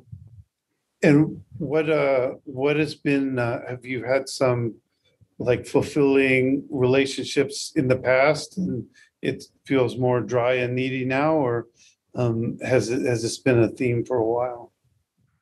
Uh, I um I I I wouldn't say I really had a completely fulfilling relationship yet. Mhm. It's um it's kind of I don't know if I, it's funny, it's a little like tragic in that uh you know the like fear of rejection and and the neediness that builds up from that lack of connection um is itself an obstacle, right? If, probably if you'd been having a a really sweet, yummy relationship, you'd be, uh, it would create a different space that uh, when when when you're lacking it and feeling rejected,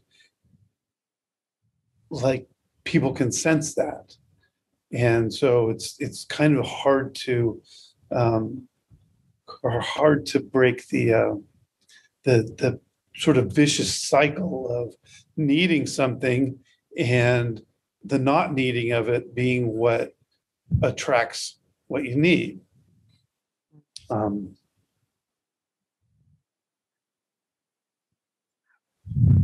I, uh, I used to, uh, I, hung, I, I met this Baba at the Kumbh Mela once, Tantric Baba.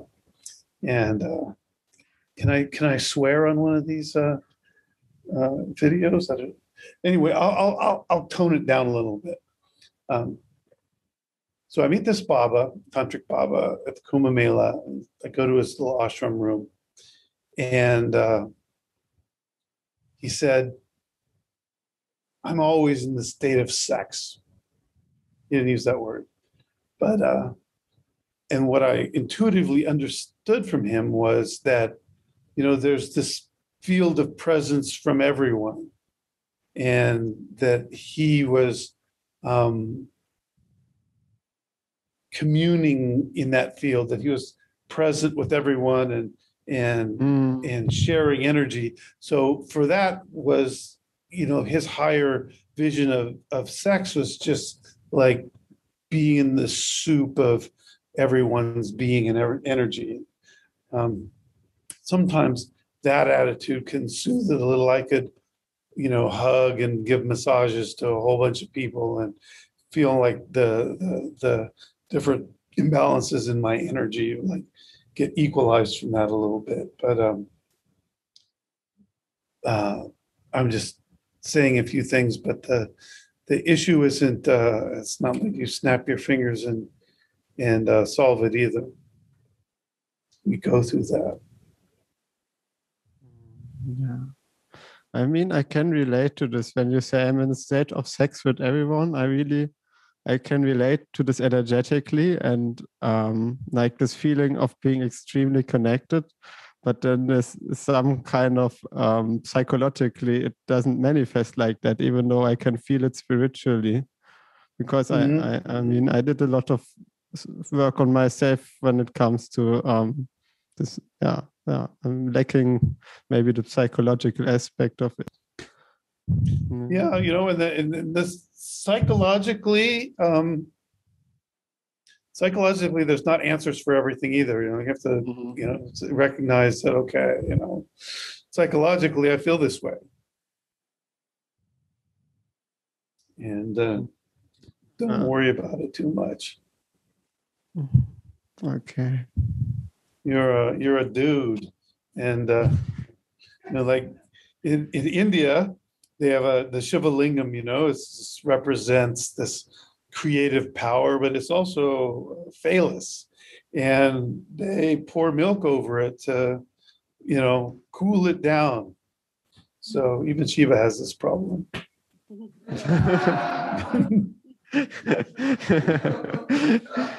Uh, hmm.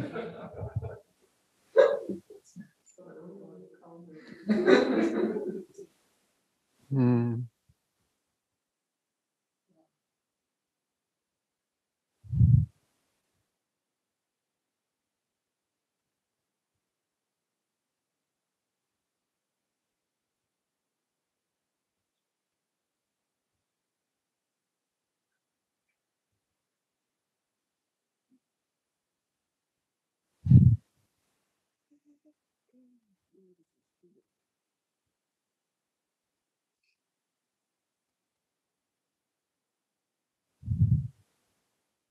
one thing to do with this like sexual energy um, is if you retain it and move it around and energy follows attention. So you can this energy moving up and you can move it throughout your body and, and it gives you power and then it becomes retained energy. Since you guys are going to talk to margot and on today might as well get tantric here. So having the, the power of the power of this this this sexual energy which is also like the kundalini and the the life force energy within us by even however intense it is by holding it within yourself and circulating it it creates actually an attractive power. It's only when it's it's grasping that people have to be like pushing it away mm-hmm.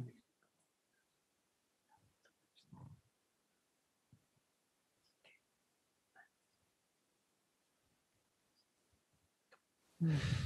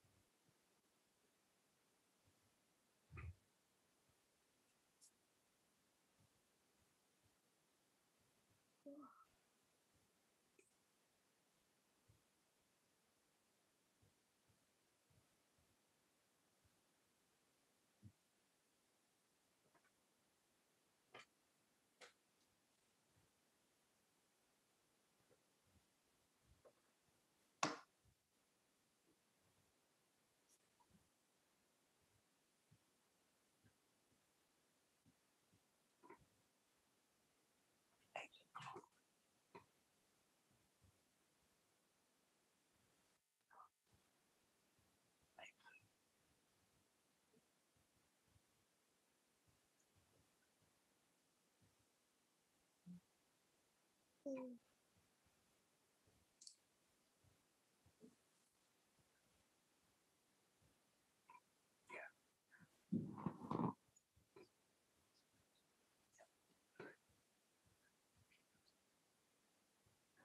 was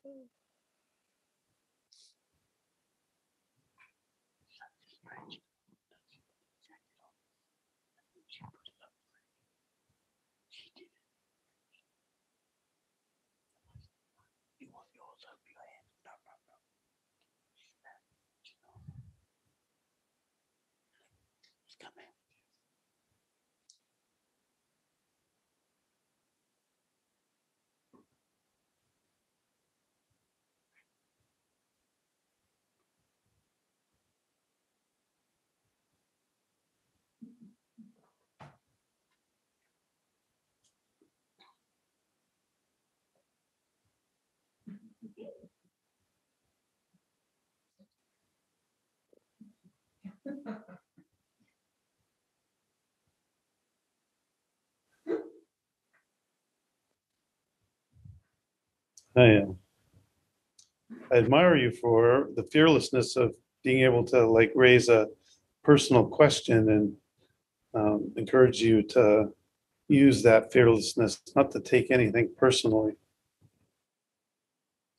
Nothing is personal. Thanks a lot. And um, yeah, I also um, admire the space and you're holding and the, I don't know, fatherliness, but you are like really like someone I feel very um, open to connect to and yeah, very a lovely person.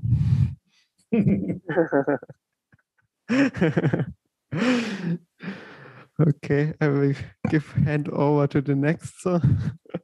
Nice to meet you. Bless. Wishing the best and highest for all the people in the room that uh, get have blessed and uplifted. The he's the drummer in our band. He's an expert drummer and he's the leader of the band. It's great to have music guy, huh? it's the juice, you know, and I'm I'm glad you guys have a band. And like, there's a certain amount of some of these non-dual satsangs don't do any band or kirtan stuff, and you know, you've gotta you've gotta resonate the resonate the shakti within, you know, and people are singing and playing music, you uh, uh, uh, entrain with that, and and there's no way to be like if to be uptight in it you know it just sort of naturally brings people out so it's an important role and and one where your being gets transmitted to everyone through the music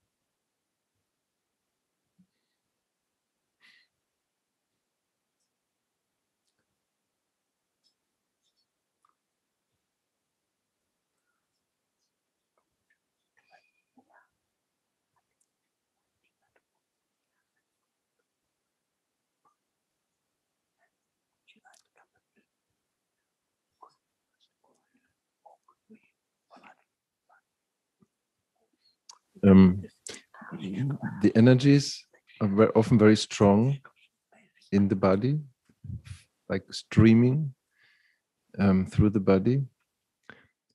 And if it manifests through music, it is really wonderful.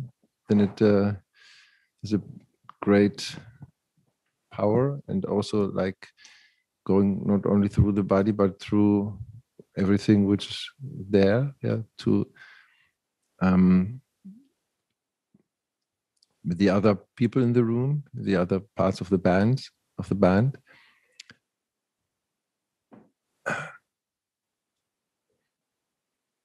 And uh, now for the last weeks there's uh, very strong energy also but also in a bit darker mode. But um, this also affects the music. So if there's a lot of like pain triggered then if there's music it is a lot of strong energy and blissful energy. So this the the color of the energy turns then. And if the color is dark it is um yeah I just try to accept and to be with it and um, sincere and but there's also a lot of seriousness. And i love i have to be more bit more have more ease in all this watching and inner work and all that stuff yeah, to doing this uh, to relax and to surrender and to um to let go. And, and this this is a sometimes a bit serious doing yeah. Yeah you know like uh, music's one of those things that uh, sometimes you'll know like you'll watch it uh, some musicians will start playing and at first they're thinking about it uh, and they're trying to do the thing and then if they if if they know their instruments well see them into the thoughtless form of of being in the in the jam and the, the flow of the music. And there's the music's not powered by serious thinking anymore. So you know, the self-consciousness is always a, a buzzkill for uh, um, for the heart of music. So uh, but if you can see yourself being too serious and you can't get too hard on yourself for that because that's even more serious right? So it, it, it is a game to be go well, i mean serious and and um and and try and uh you know try and try and let go without getting in a head trip about it. Yeah music with music is possible. It helps. Yeah it, it is there is, Mhm. it's not so serious. Yeah sometimes you have to keep going for a while and then you could just like drum yourself out of it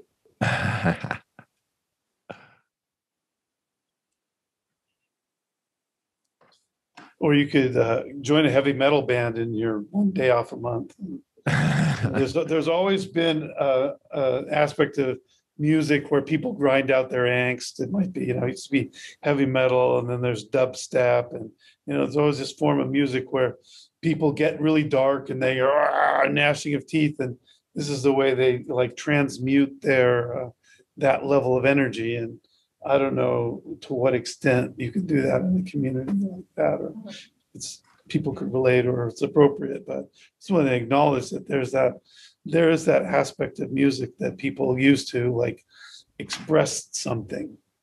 Mm.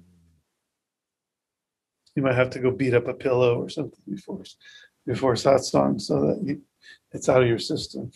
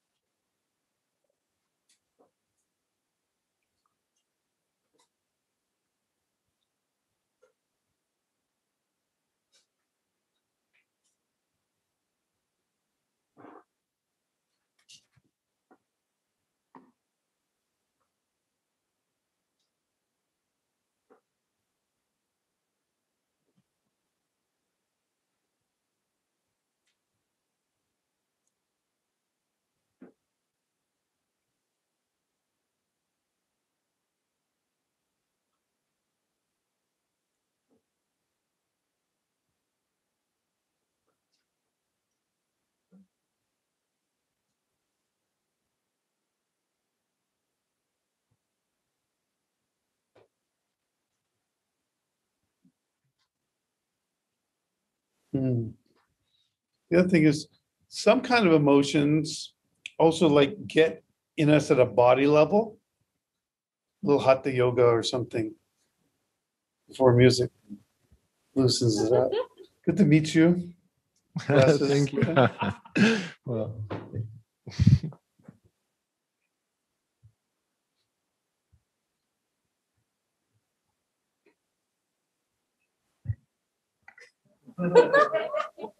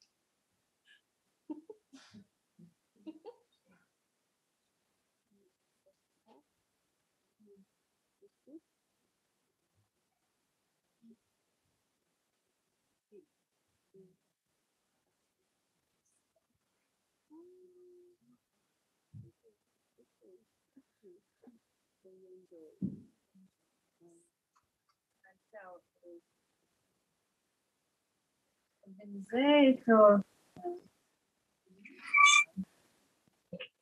Present marvels mm-hmm. and Ah. Oh, no.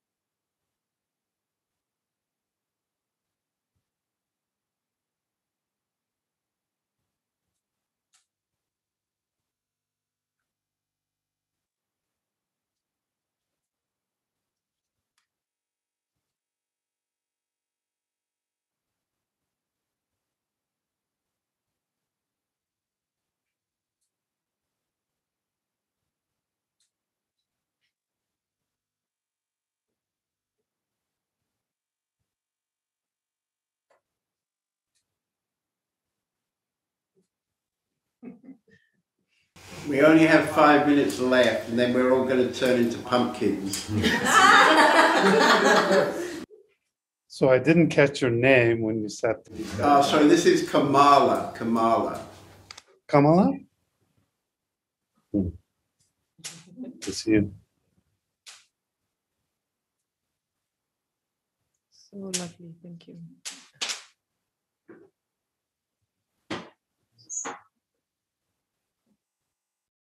This is Sagar, and today he has his 40th birthday. so you're his birthday present. I can think of all kinds of jokes and ways of teasing you about being 40, but um, I've reached a couple of milestones since then, so I better just keep it to myself.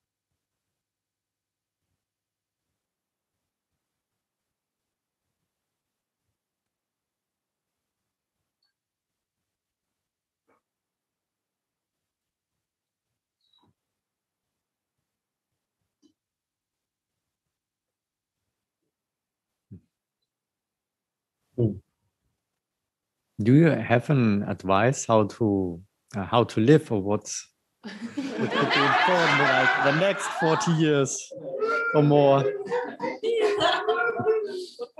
Wise words, some advice.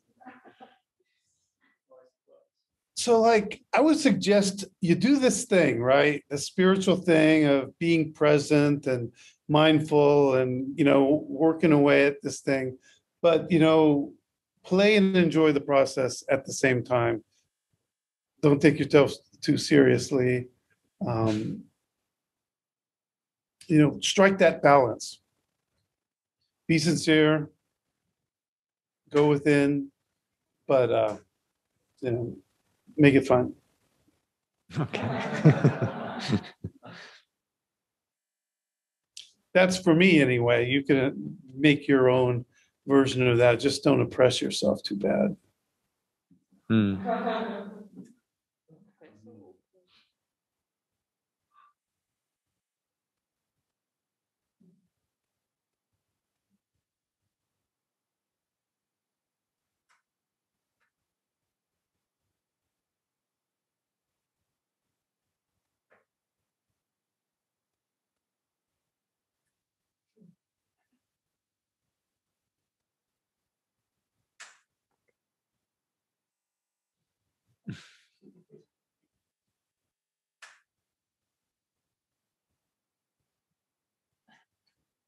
Hi, John.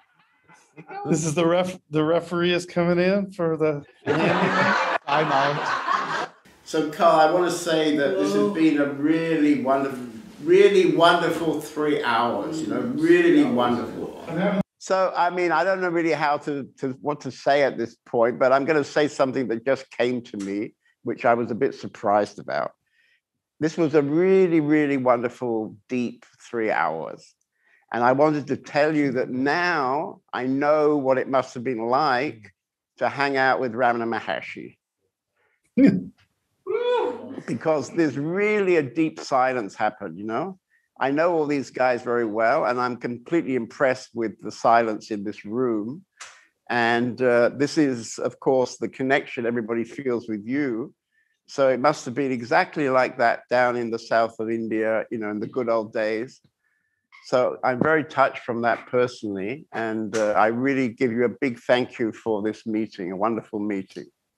Well, I'm, I'm really impressed that so many people were able to just sit here and drop into it. I think it was good we tuned into it uh, in the beginning. I think it's going to make, hopefully we'll um, cut some of the long sections out if you post it on your website. Otherwise, it'll be quite an unusual satsang. But, uh, you know, I don't know what felt over on your side, but I was feeling it. I was, uh, um, so it's a co-creation, it's a symbiosis. So thanks for bringing some um, beautiful, like, people that can bear silence uh, to the table.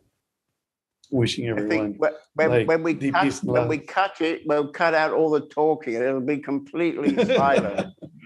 It'll be a celebration of Bali Silence Day. Oh, So big thank you. Thank you very much. Karl. Yeah, Really- much love to everyone. I hope I run into some of you in Rishikesh. Thank you for uh, this very welcoming and, and like humble um, invitation to share with your beautiful people. I appreciate it. Thank you. Thank you. Thank Bye you. now. Ciao.